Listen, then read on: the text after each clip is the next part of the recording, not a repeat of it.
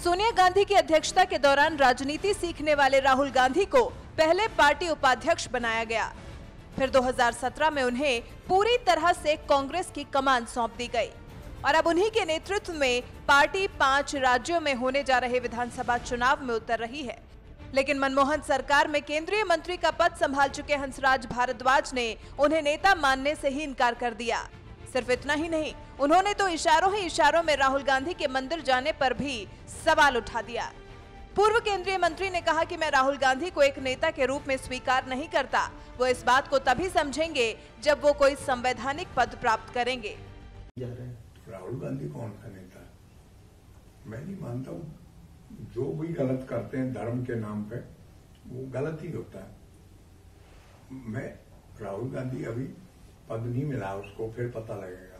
तो कांग्रेस के राज्य दर राज्य हार रही कांग्रेस पर तंज कसते हुए हंसराज भारद्वाज ने कहा कि कांग्रेस इसलिए फेल होती है क्योंकि वो धर्म की राजनीति में उलझ गई है।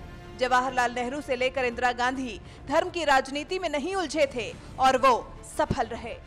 कांग्रेस के अध्यक्ष है मंदिर मंदिर घूम रहे हैं चुनाव के समय। आपको लगता है कि कांग्रेस सॉफ्ट हिंदुत्व की तरह या बीजेपी के पिच पे जाके खेलने की कोशिश कर कांग्रेस इसीलिए फेल होती है।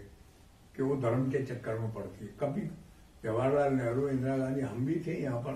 हमने कभी धर्म के नाम पे राजनीति नहीं की। हम हम ब्राह्मण हैं जाति के। मंदिर मंदिर में हम भी जाते हैं। दान भी देता हूँ मैं तो बीस लाख रुपए साल के।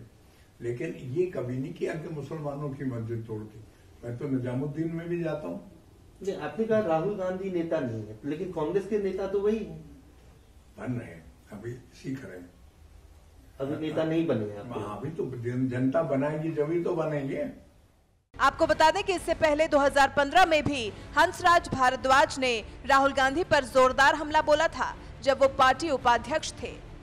तब उन्होंने कहा था कि बीजेपी को टक्कर देने के लिए कांग्रेस बहुत कमज़ोर है क्योंकि कांग्रेस और राहुल गांधी ग्राउंड रिपोर्ट से पूरी तरह अनजान हैं। हंसराज भारद्वाज 2009 से 2014 तक मनमोहन सरकार में कानून मंत्री रह चुके हैं।